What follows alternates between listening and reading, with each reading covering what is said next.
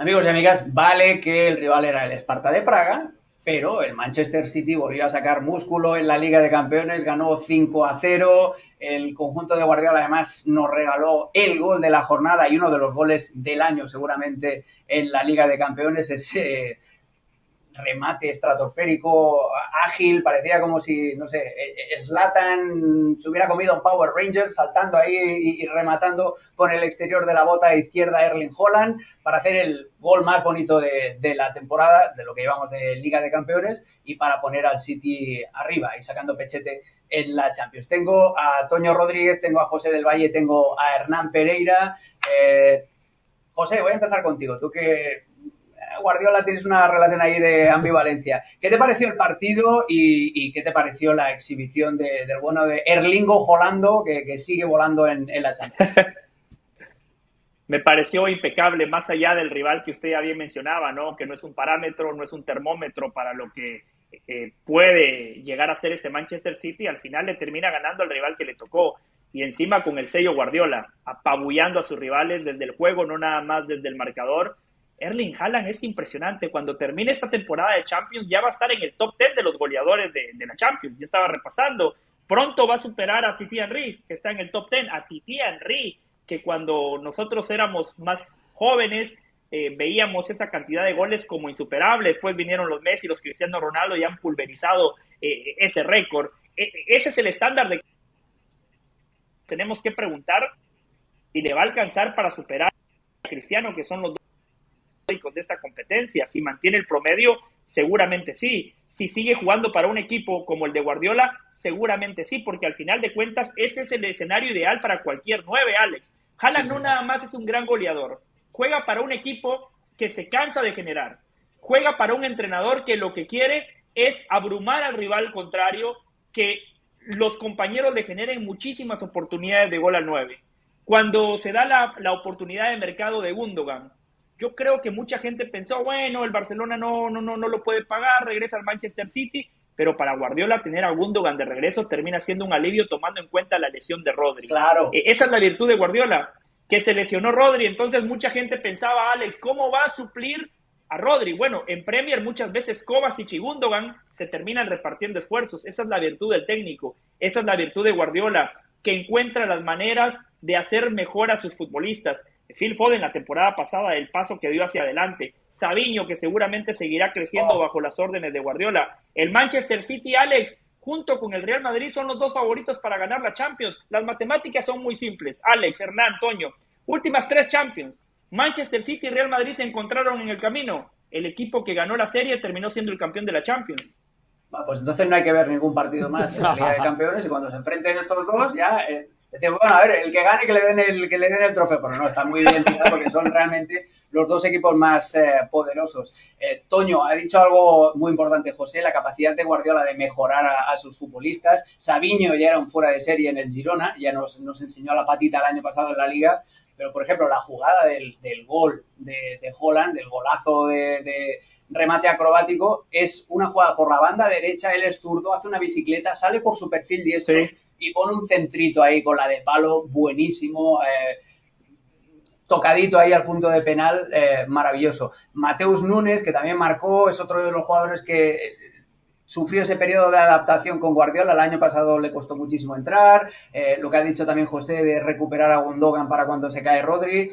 Pinta bien este, este Manchester City. ¿Tú cómo, ¿Tú cómo lo ves? ¿Qué, es lo que tendría que mejorar? Sería un pecado que no pintara bien. Con ese dinero y ese entrenador, sería un pecado que este equipo no pintara bien. Hay otros equipos con mucho dinero, pero han encontrado la fórmula también en la cancha. Mejorar jugadores. Sabeño es el mejor ejemplo. Llegar a un escenario como este y jugaba en el otro perfil. Era de los pocos jugando en perfil natural la temporada pasada en las grandes ligas en Europa. Allá estaba en el Girona, llega a Guardiola y yo siempre digo que, la definición del fútbol inglés es eso. Es el, es el fútbol de los extremos a perfil cambiado. Y de ahí ha pasado para todo el mundo. Así se juega ahora. Pero era muy lógico que, que Sabiño cambiara ese perfil y por supuesto que en ese perfil cambiado lo, lo está haciendo muy bien. A mí me parece excelente todo lo que han dicho, todo lo que ha pasado. Es, un poema, es una obra maestra lo de Erling Holland, eh, volando en ese récord de goleo en la Champions en lo personal, perfecto. Pero yo no puedo dejar de, poner el acento solo como comentario final y con esto termino, que sí es una fase de liga diluida de la Champions League. Es cierto, estamos esperando a ver esos emparejamientos y todo, pero creo que estas goleadas, este en específico, nos la podíamos ahorrar todos en el formato anterior. A mí lo del formato yo es una batalla perdida. A mí esta liga así tan larga me, parece un bostezo, pero bueno, será eso también, para inflar números y para inflar goles. Números, Hernán, hablamos, ya lo hemos tocado tanto con José como con Toño. Decía lo del récord histórico, tengo aquí la clasificación ahora mismo de eh, máximos goleadores en la historia de la Liga de Campeones. Holland es el décimo séptimo ahora mismo. Ayer superó a Neymar.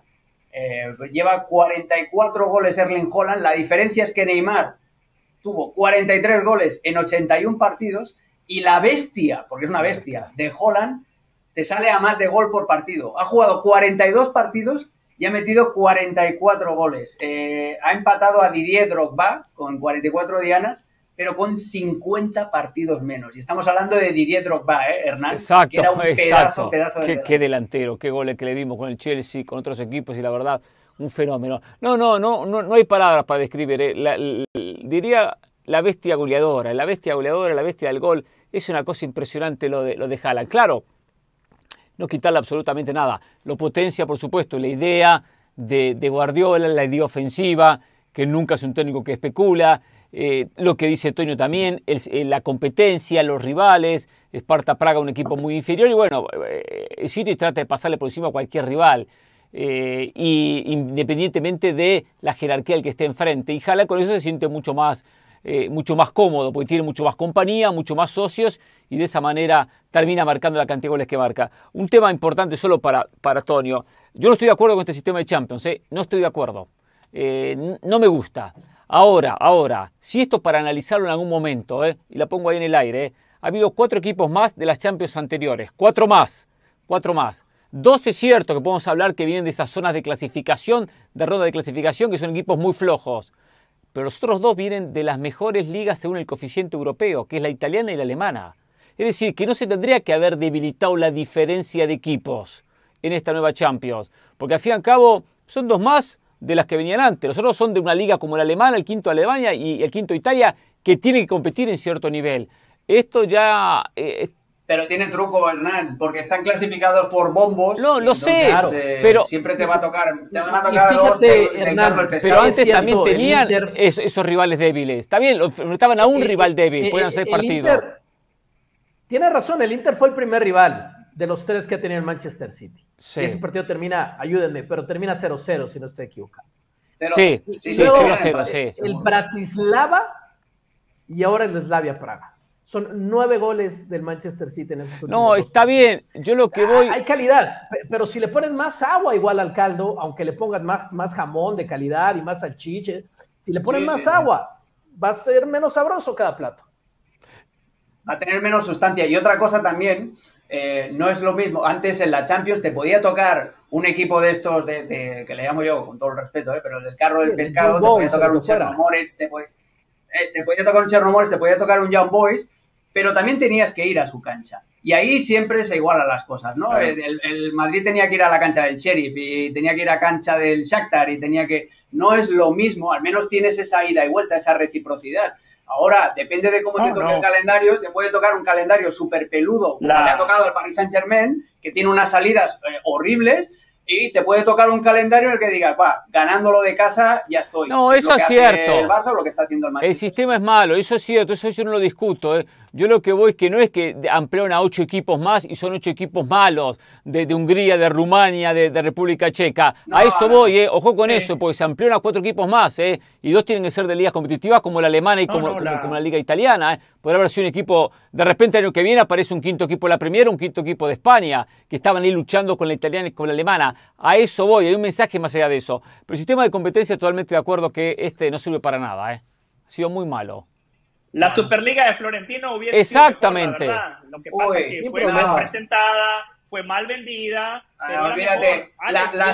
no, no, no, no, no, José no tiene ningún tipo de razón porque ahí la Superliga ganabas una liga en, en, tu país y entrabas en el tercer nivel pero, que parecía pero, que Alex, una aerolínea. No pero Alex, el, nivel blue, el nivel gordo, el nivel... Pero Alex, Alex, el punto, el punto era que en la Superliga iban a estar equipos que tienen un presupuesto similar. En lugar de ver esos rivales que ha enfrentado el City, que bien lo mencionaba Toño, en una Superliga el Manchester City enfrentaría, no sé, a un Atlético de Madrid, a un Liverpool, a un Real Madrid, a un... Al mismo Atlético de Madrid que perdió ayer contra el Lille al mismo Atlético de Madrid que perdió sí, pero no es el Bratislava, Alex. Ah, es que estamos clasificando aquí. No, estáis siendo muy clasistas vosotros. Estáis siendo muy clasistas. Una cosa es lo que tenéis en la cabeza, los históricos. Pero, pero Alex. El aficionado, pero, Alex. ¿El que sabe de fútbol o el que solo es eh, consumidor casual? Porque hay, hay varios. Sí, pero el que sabe de fútbol no quiere ver al Bratislava o ver al Sturm Graz o ver a estos equipos que están jugando, eh, o el Slavia Praga. Ni nosotros lo vemos, eh, porque acá no, vamos, no hablamos del Slavia Praga. Hablamos porque junto al City, eh, no vamos a hablar más, eh del equipo. Seamos sinceros también, ¿eh? O sea, no, no, no vengamos con, a ser unos hipócritas.